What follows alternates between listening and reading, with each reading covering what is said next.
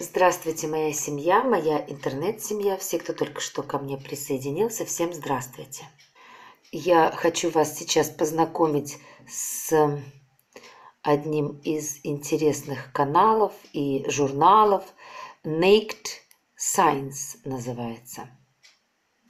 Шикарные вы можете здесь найти публикации, но опять-таки те, кто э, знает английский язык.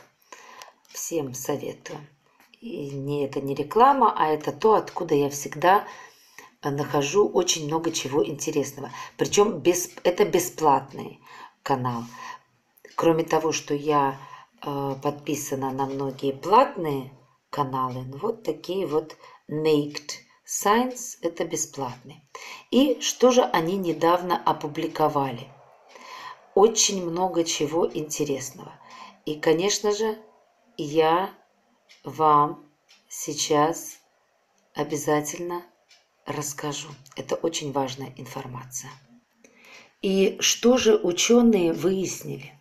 А вот что они выяснили. Они выяснили, что соль может стать причиной инсульта и старения. Ну, теперь кто спешит, может э, отправляться по своим делам. Ну, а кто хочет набраться мудрости и понять причину почему именно так, а не иначе, тот оставайтесь со мной, и мы сейчас попробуем разобраться, как разобрались ученые. Помимо риска высокого кровяного давления, ученые обнаружили еще один фактор, относящийся к соли и прямо указывающий на связь кишечника с мозгом. Сейчас многие из вас узнают свои болезни и поймут, что, возможно, эта болезнь у вас именно из-за того, что вы много солите свою пищу. Может быть, вам стоит сейчас вообще, может быть, на какое-то время отказаться от соли. Итак, как пишет Nate Science, исследователи из Нью-Йоркского исследовательского института мозга, на примере мышей отслеживали биохимический путь, ответственный за повышение риска инсульта и деменции у людей, которые потребляли слишком много натрия. Уже несколько лет известно, что диета с высоким содержанием соли повышает риск развития церебральной болезни малых сосудов мозга. Вот это только лишь несколько лет назад было открыто, что риск развития именно церебральной болезни малых сосудов мозга. Вот этот термин охватывает все виды аномалий, связанных с ухудшением капилляров мозга, что в свою очередь может привести к таким заболеваниям, как инсульт и деменция. Это связано с тем, что ион натрия втягивает воду в сосудистую систему, повышая давление и вызывая гипертонию. В новом исследовании, опубликованном в журнале Nature Neuroscience, Ученые предприняли попытку найти иные связи между потреблением соли и риском инсульта и деменции. Исследовательская группа попыталась найти альтернативное объяснение. В результате исследований, предполагающих, что обычная поваренная соль может повлечь за собой аутоиммунные заболевания, превращая определенный тип белых кровяных клеток во враждебные. Эти Т лимфоциты выпускают химическое вещество, внимание, которое способствует воспалению, называемое интерлейкином 17, которое и заинтересовало ученых. Потом они провели такую как бы диету для э, мышей с большим количеством соли и обнаружили нарушение когнитивных способностей и признаки нарушения кровообращения. Давайте посмотрим. Значит, мы узнали, что исследовательская группа выяснила, да, что соль может привлечь за собой аутоиммунные заболевания. И здесь, возможно, кто-то из вас спросит, а может быть, кто-то и пропустил это слово – аутоиммунные заболевания. Давайте, кто не знает, есть прямо под рукой такая великолепная вещь – интернет. И там есть Википедия. но я попробую разобраться в других источниках. Аутоиммунные заболевания – это одно из, и даже не одно, а их много.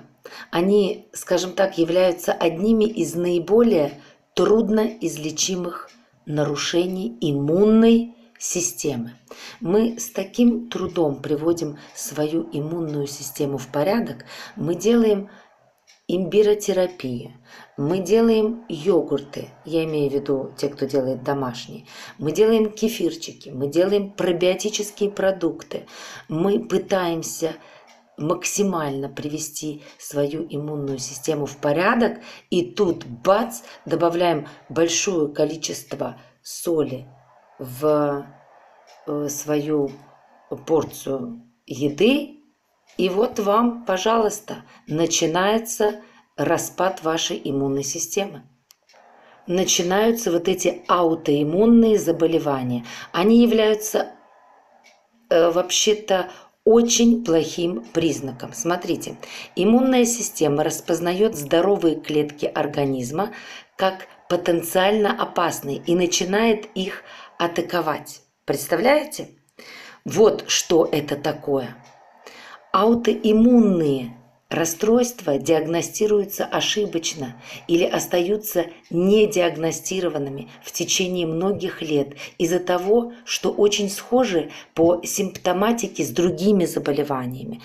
Э, жаль, но наши профессора, они не прогрессируют. То есть они не занимаются переводами э, новых статей, э, новых публикаций, новых открытий, ну, действительно, ученых, на которых государство тратит финансы и делаются, создаются постоянно лаборатории, изучаются. И постоянно, каждый год я наблюдаю за тем, что открываются все время что-то новое, новое, новое. К сожалению, это происходит в часто в Соединенных Штатах Америки, а может быть и к радости, и э, в Великобритании чаще всего. Э, дальше. Что же это заболевание? Что они из себя представляют. Вот некоторые из наиболее распространенных аутоиммунных заболеваний. Это целиакия или еще называют глютеновая болезнь. Она известна как непереносимость глютена. Следующее – это ревматоидный артрит, эрозивно-деструктивное разрушение соединительной ткани, преимущественно мелких суставов, одно из наиболее распространенных долгосрочных аутоиммунных заболеваний. Псориаз, дорогие мои, это тоже аутоиммунное заболевание кожных покровов. Воспалительное заболевание кишечника – долгосрочное воспаление кишечника и слизистой оболочки толстой кишки. Есть два основных типа патологии – болезнь Крона и язвенный колит, а еще болезнь Аддисона. Это состояние, при котором надпочечники не производят достаточно количества гормонов – кортизола и альдостерона. Дальше. Сахарный диабет первого типа – Инсулинозависимый диабет – аутоиммунное заболевание поджелудочной железы, при котором вырабатывается недостаточное количество инсулина, что приводит к неконтролируемому уровню глюкозы в крови. А еще витилиго – это состояние, характеризующееся нарушением пигментации кожи. Еще такая болезнь Хашимота – аутоиммунное заболевание щитовидной железы, при котором развивается гипотиреоз. И такая болезнь, как Грейвса или диффузный токсический зоб. Как и болезнь Хашимота, это аутоиммунное заболевание щитовидной железы. Но для данной патологии характерен гипертиреоз. Итак, факторы риска. Ну, первое – это генетика, второе – это пол, третье – это возраст. Вот. А, вы знаете, этническая принадлежность, как ни странно, тоже имеет место быть. были открытия, э, как правило, говорят, что склонны индейцы, латиноамериканцы, афроамериканцы. Они более склонны к развитию аутоиммунных заболеваний, а также инфекционные заболевания. И вот с этого года присоединили избыточное потребление соли. Вот к этим факторам риска. Так что в своих экспериментах ученые использовали вот этих обычных мышей, и там после эксперимента было указано на то, что диета с высоким содержанием соли провоцирует иммунную систему кишечника на формирование вот этого сигнала, который влияет на кровеносные сосуды в ключевых частях мозга, а именно на гиппокамп и кору мозга. Я не знаю, если врачи нас смотрят, я думаю, для них будет очень интересно. Но а нам, а нам важно разобраться, потому что ну, никто, кроме нас самих, нам в самые тяжелые моменты не поможет. И вы знаете, вот эти нарушения, они были зафиксированы даже при отсутствии высокого кровяного давления. Это означает, что даже если нам удастся справиться с гипертонией, которая возникает из-за диеты с высоким содержанием натрия, девчоночки, повышенный риск развития инсульта и деменции может сохраняться. Но все-таки мы с гипертонией можем справиться, и если мы удалим соль, из употребления, ну хотя бы на некоторое время. Ну и важно тоже подчеркнуть, что из-за этих исследований была изучена связь кишечника и нервной системы человека. Вот где бы кишечник, а где нервная система. А вот связь доказана была. Только в этом году были проведены исследования, раскрывающие новые нейронные цепи кишечно-мозговых нервов, молекулярные пути, соединяющие микрофлору кишечника и клетки мозга, а также связь между диетой и переменами настроения. Вот все это объединяет исследования, связывающие состав микробов пищеварительной системы с развитием многих заболеваний, например, болезни Паркинсона. Вот такое открытие было сделано. Итак, дорогие мои, вывод какой? Максимально уменьшаем соль, либо вообще отказываемся от нее. Ее достаточно. Достаточно во многих овощах. А я люблю вас. Будьте благословенны вы и ваши близкие. Оставайтесь здоровы. Пока-пока.